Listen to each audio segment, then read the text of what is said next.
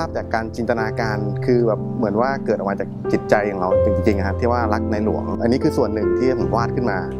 และก็คืออยากจะวาดภาพของในหลวงไปเรื่อยๆครับ เก็บเอาไว้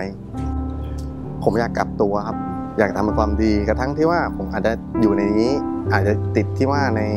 หลาย ๆ สิ่งหลาย ๆ อย่าง อาจจะอยู่ในกรอบอยู่ในข้อบังคับ แต่ผมเชื่อว่าผมเองผมจะกลับตัวเป็นคนดีได้ เพื่อถวายแก่ในหลวง อาจจะไม่มากไม่น้อยหรือว่า แต่ผมจะทำให้ดีที่สุดเพื่อท่านนะครับผมก็พยายามทำดีทุกสิ่งทุกอย่างครับผมเพื่อเทิดทูนให้แก่รัชกาลที่ 9 อยากจะบอกสังคมว่าทุกคนในนี้คือไม่ใช่คนที่เลวร้ายอะครับผมอยากขอโอกาส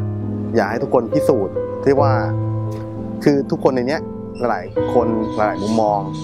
ต่างคนต่างครอบครัวที่มา แต่คือทุกคนไม่ได้มีคือ